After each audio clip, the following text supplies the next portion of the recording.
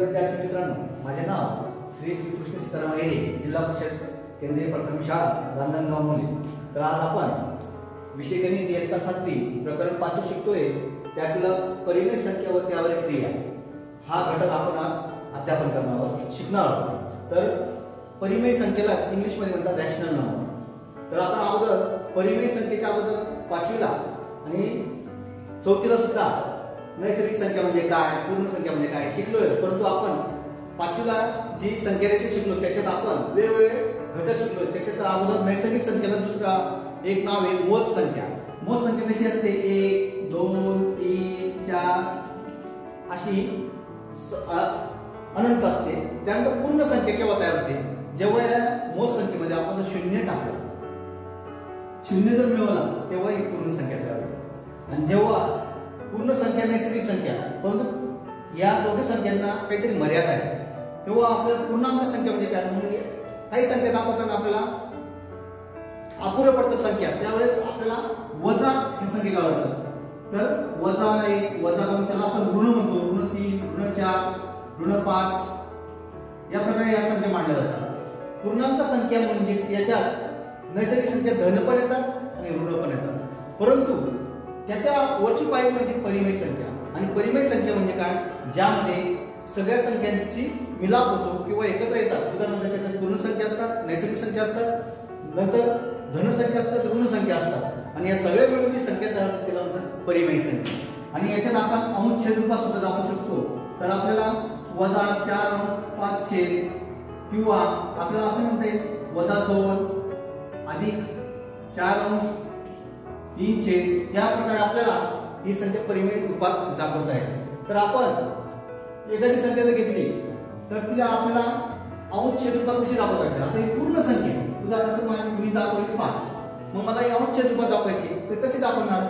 तर बघा पाच हा अंशस्थानी मांडणार परंतु छेदस्थानी एक घेतला तर ती झाली अंश छेद रूपात. आणि यालाच म्हणतात परिमेय संख्या. बघा मी पूर्णांक संख्येचं रूपांतर परिमेय संख्येत केलं.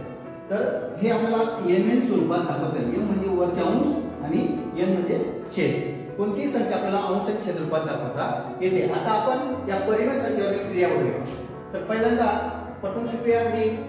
या जे घटक घटक आहे त्याच्यातलं फक्त एक उदाहरण घेणार आहे. तर आपण पहिल्यांदा परिमेय संख्येवरील अधिक किंवा बेरीज हा घटक शिकणार. आहोत तर आता ही बेरीज कशी करणार? इथे ही संख्या पूर्णांकयुक्त अपूर्णांक आहे. म्हणजे पूर्णपणे आणि अपूर्णांकपणे.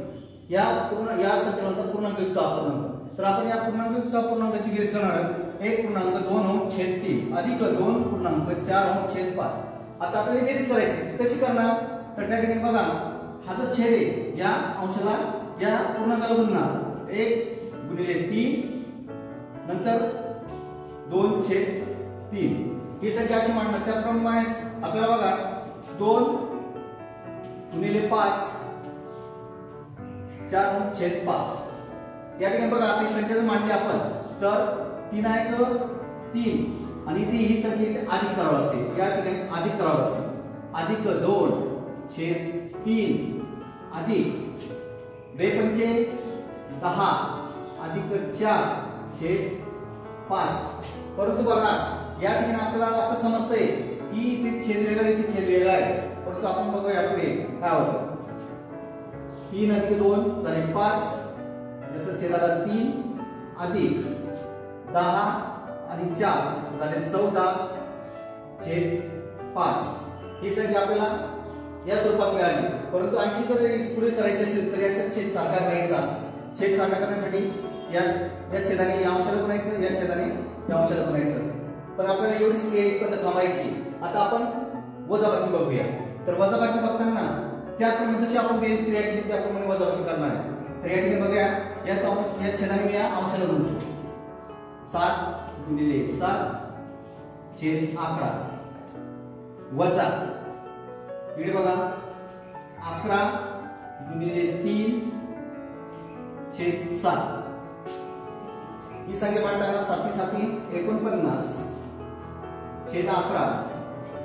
वजा अकरा त्रिक तेहतीस छेद सात ही संख्या आपल्याला या प्रकारे मिळाली. या प्रकारे आपल्याला मांडता येईल. पण तू त्याचा जर आपण गुणाकार केला तर आपल्याला अंशाला छेदा सात गुणा लागतो या ठिकाणी सात या ठिकाणी तीन या ठिकाणी सातने गुणलं तर या ठिकाणी आपल्याला या ठिकाणी पण अकराने गुणावं लागेल तर उत्तर आपल्याला मिळेल बघा. सत्याहत्तर इथे सुद्धा मिळाला. सत्याहत्तर. जेव्हा छेद सारखा झाला त्या ठिकाणी बघा मग आपल्याला फक्त अंशांची वजाबाकी करणार छेदांची वजाबाकी करणार नाही. इथे छेद सारखा मिळाला आणि उत्तर मिळाला आपल्याला. नवातून तीन गेले राहिले सहा चारातून एक तीन गेले राहिला एक सोळा अंश छेद सत्याहत्तर. या प्रकारे आपली वजाबाकी मिळाली. जर आपल्याला गुणाकार करायचा राहिला तर गुणाकार बघूया कसा करतात. या ठिकाणी बघा. गुणाकार करताना परिमित संख्येचा गुणाकार करताना एक सोपी पद्धत असते अंशांशांचा गुणाकार करायचा आणि छेदाछेदांचा गुणाकार करायचा. वजा आठ गुणिले तीन नऊ गुणिले चार बरोबर आठ त्रिक चोवीस नऊ चौक छत्तीस. परंतु इथे ऋणचिन्ह आहे ऋणचिन्ह जसं तसं द्यायचं. जर आपल्याला याचं संक्षिप्त रूप करायचं असेल तर ही हे दोघी संख्या कोणत्या पाड्यात येतात ते पाहायचं आणि त्यात संक्षिप्त रूप होतं. चारच्या पाड्यात दोघी संख्या आहेत तर चार सर चोवीस.